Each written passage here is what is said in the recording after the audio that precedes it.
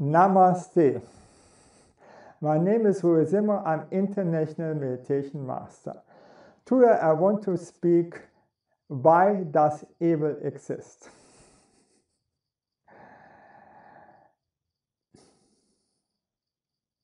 We all have to discriminate when we act between good and bad actions. The temptation is often quite high to do bad actions. This we can call the evil in us who is tempting us to do bad. in the end, I will describe Satanism.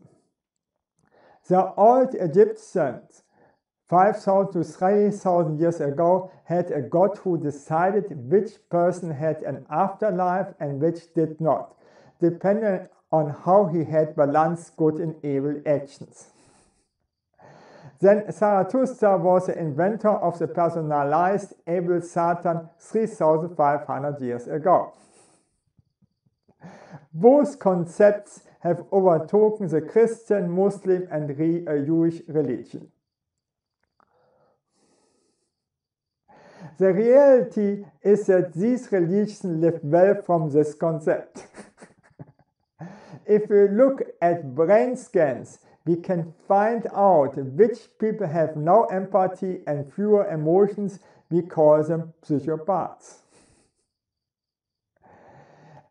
If psychopaths have no or less control over their actions, impulses, or themselves, they can become evil people who ruthlessly kill, torture, and rape.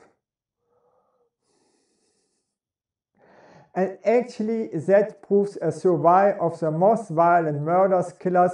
They are all psychopaths with less control over themselves and very less empathy.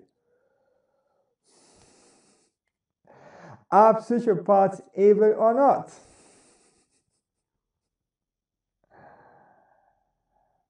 Today, politicians who are doing evil things in society are more or fewer people with no empathy and they get voted. Are these voters who are voting for politicians with no empathy evil or these politicians evil or both? In the Hindu religion has everything a place in our life and should not be abused. Every people are needed. Yes, every people are needed to make up the society people for wars, to challenge us, to become creative, to overcome them, to create heroes who will eventually kill them for entertainment. The next problem is our misunderstanding of exorcism. All religions have done and doing exorcism to release a bad spirit from a person that got occupied by a bad spirit.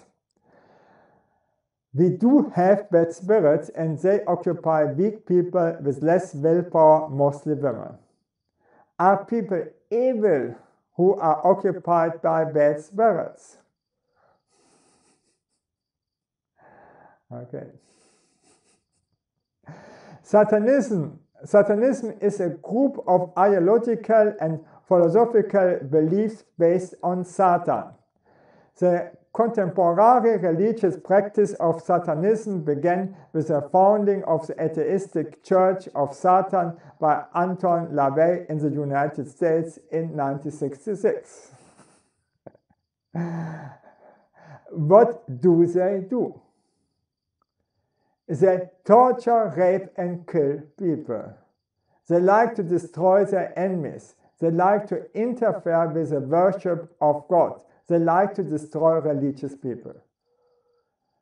For Satanism exists Satan or evil, and the reality is that there is no Satan or evil. The story of Satanism are so horrifying, so Satanism is forbidden. Everybody who had experienced or seen Satanism should go to the police and report it. Thank you that I could speak about this controversial theme and bye.